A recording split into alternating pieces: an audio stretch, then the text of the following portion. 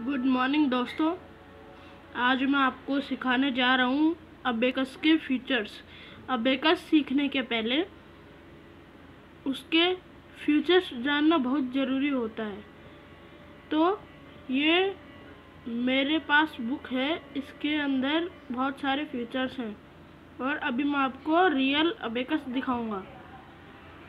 ये है real abacus. ये जो इसका मिड पॉइंट है ये होता है यूनिट पॉइंट और जो ऊपर वाली बीट्स है, उनको बोलते हैं अपर बीट्स और ये सब लोअर बीट्स और जो ये पूरा, जिसके अंदर ये बीट्स कवर है, इसको बोलते हैं फ्रेम फ्रेम देख सकते हैं आप दोस्तों? और ये जो बीच के अंदर ये ये लाइन है, इसको बोलते हैं डिवाइडर लाइन और ये जो रॉड है, उसको बोलते हैं रॉड अबेकस रॉड ये समझ में आया दोस्तों? अबेकस सीखने के पहले उसके फीचर्स जानना बहुत ज़रूरी होता है।